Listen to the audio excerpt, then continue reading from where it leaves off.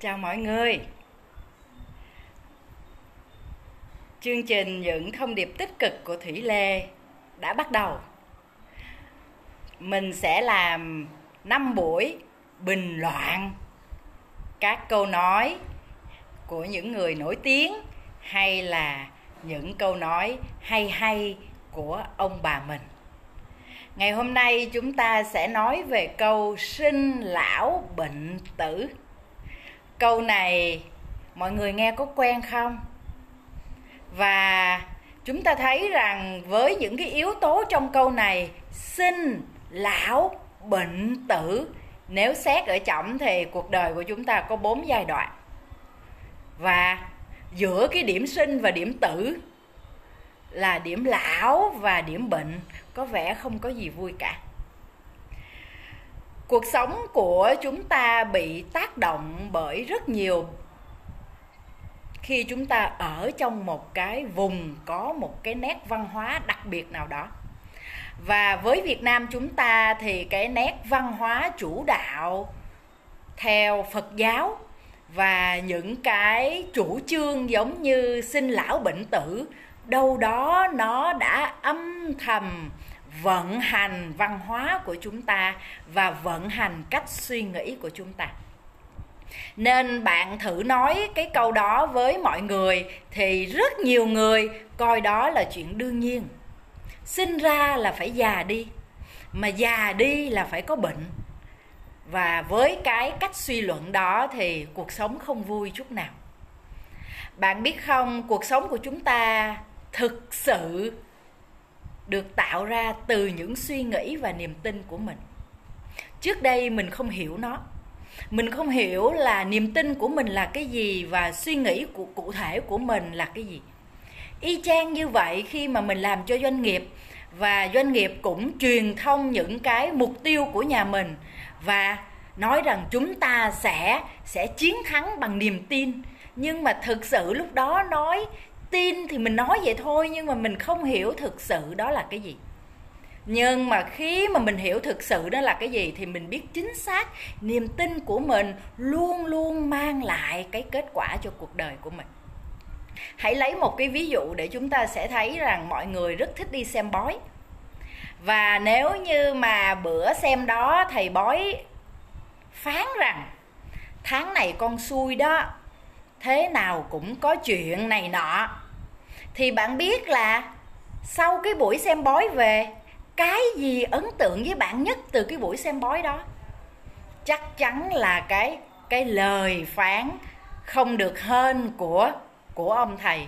Và cái lời phán đó nó cứ chạy trong đầu của bạn. Bạn nghĩ tới, nghĩ lui về về cái lời thầy đó. Xui, tháng này xui, cẩn thận, xui, cẩn thận. Và cuối cùng là xui thiệt và bạn nói, trời ơi, ông thầy đó nói hay quá.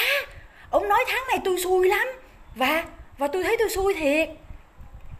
Ông ấy chỉ làm một cái việc rất nhỏ là kích hoạt cái suy nghĩ đó của bạn lên. Và khi ông ta kích hoạt cái suy nghĩ đó lên, bạn suy nghĩ, thường xuyên về nó, cộng với những cảm xúc bạn dành cho nó, bạn nuôi nó mỗi ngày thì theo đúng quy luật, bạn sẽ thu hút cái đó vào cuộc đời của mình. Chính vì vậy mà nếu như mà cái câu sinh lão bệnh tử nó đã thấm đâu đó bên trong bạn, thì bạn sẽ thấy rằng à cái chỗ lão đó là cái chỗ mà bạn có rất nhiều lý do để để không làm những điều mình mong muốn ôi, bây giờ mình già rồi, mình không thể nào cạnh tranh được với tuổi nhỏ. Mình muốn làm cái chuyện đó nhưng mình không thể. Mình lớn tuổi rồi. Ôi, sức khỏe mình mình yếu. Chúng ta toàn nói những lời đó với bản thân mình thì chắc chắn chúng ta sẽ không làm. Bởi vì cái đó được vận hành bởi niềm tin ở bên trong của chúng ta rằng ờ lão lão là không làm được gì cả. Lão là là phải sắp xếp lại cuộc đời của mình nghỉ ngơi nhiều hơn. Nhưng mà bạn biết không, khi bạn nghỉ ngơi và và bạn sống không có mục đích, thì bạn sẽ sẽ tới cái bước tử rất nhanh. Thống kê cho thấy rằng, những người đang làm việc và sau đó họ về hưu và họ không chuẩn bị tâm lý sẵn sàng cho cái tuổi hưu của họ, hoặc là họ không kế hoạch tiếp tục thể hiện cái sự hữu ích của họ, thì tỷ lệ bệnh tật và tỷ lệ tử vong khi khi tuổi hưu xuất hiện sẽ sẽ rất cao. Bạn đọc vài con số đi, bạn sẽ thấy ngay. Tất tần tật chúng ta đến đây để để thể hiện cái sự hữu ích của mình, để trải nghiệm cuộc sống của mình, để lớn lên mỗi ngày. Nên không bao giờ để cho cái cái suy nghĩ lão đó, nó nó thống trị bạn nếu bạn để cho nó thống trị bạn thì chắc chắn là bạn sẽ sẽ gặp rất nhiều chuyện của lão. Y chang như vậy, bệnh, chúng ta hoàn toàn có thể kết thúc cuộc sống của chúng ta ở đây trong tình trạng khỏe mạnh. Và cái đó bạn phải bạn phải xác định và cài cái niềm tin đó vào trong tiềm thức của mình. Vậy thì thay vì là sinh lão bệnh tử, bạn bị bị thấm cái đó thì bạn bỏ hai cái ở giữa đi. Bạn chỉ xét tới cái việc bạn sinh ra và tới cái điểm mà bạn ra đi thôi. Và hãy đảm bảo rằng khoảng giữa của hai cái đó bạn trải nghiệm nhiều nhất, bạn lớn lên nhiều nhất, bạn trưởng thành nhiều nhất, bạn hiểu bản thân mình nhiều nhất và bạn sáng tạo cuộc đời bạn muốn sống nhiều nhất. Thì bạn không bao giờ biết lão là gì và bệnh nó cũng không có cơ hội thăm viếng một cơ thể mà luôn tràn đầy năng lượng, tràn đầy sức sống của bạn. Và bạn hoàn toàn làm được chuyện đó. Khi bạn hiểu về niềm tin của mình và và bạn tin vào những suy nghĩ của bạn.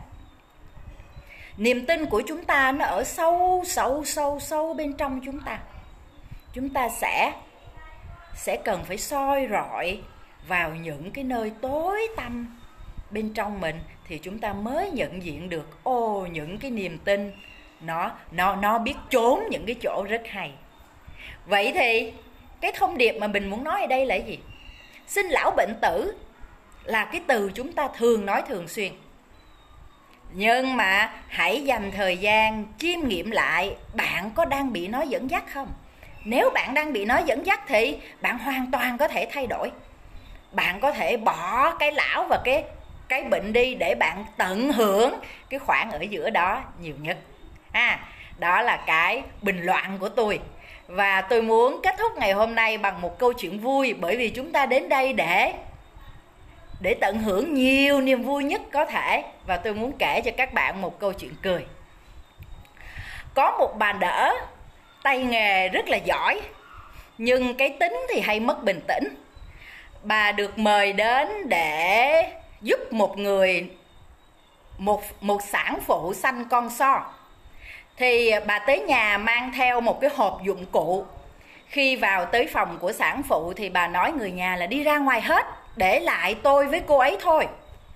Và người nhà đi ra ngoài, một lúc sau thấy bà chạy ra, hỏi, nhà có cái kềm không? Cho tôi mượn cái kềm ông chồng chạy một lát kiếm được cái kềm và khi ông ta cầm cái kềm quay trở lại thì thấy ở trong đó vợ đang rất là rên, đau đớn. Bà ta cầm cái kềm đóng cửa một cái bùm. Và anh chồng đứng ngoài nghe, bà ấy gõ bụp bụp, không biết là cái gì. Lát sau, bà ta lại quay ra hỏi, nhà anh có cà lê không? Cho tôi cái cà lê. Anh chồng, cà lê làm cái gì? Tôi cần cái cà lê. Anh chồng lại chạy đi, tìm được cái cà lê, mang về cho cho bà đỡ bà đỡ đóng cửa cái rầm và anh ta đứng ngoài nghe, búp búp búp, cốc cốc cốc. Anh ta không biết cái gì, trong lòng rất lo lắng và vợ thì ở trong đó đang rên rỉ, rất là đau đớn, sắp sửa chuyển dạ rồi. Thì lại thấy bà đỡ chạy ra cửa, cho tôi mượn cây búa cây búa thật là to. Anh ta bấm bụng chạy đi tìm một cây búa nữa.